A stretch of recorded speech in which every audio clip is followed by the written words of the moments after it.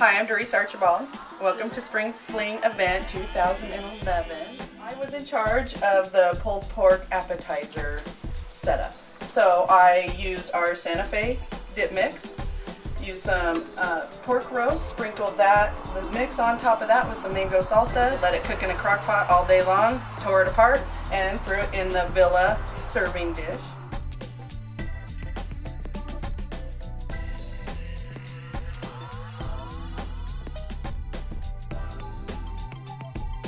To add height, I use the Gramercy double dish stand.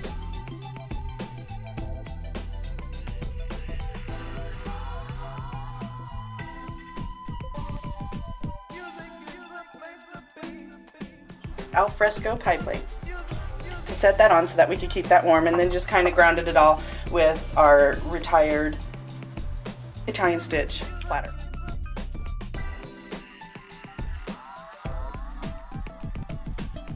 Hold my heat source, which is a Annabelle votive holder.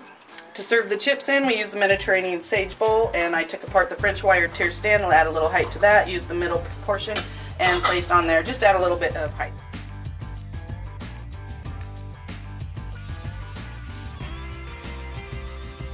For your condiments and utensils, I use my very favorite Jamestown tray and some cilantro cheese, and I use the Gallery Collection Serveware appetizer spoons. And this is the Nautilus vase to hold our plates, the Parisian luminaries for our forks, and inside the Tuscan goblet just so that they are accessible. And grouped it together, put my napkins in the Southern Sipper bowl.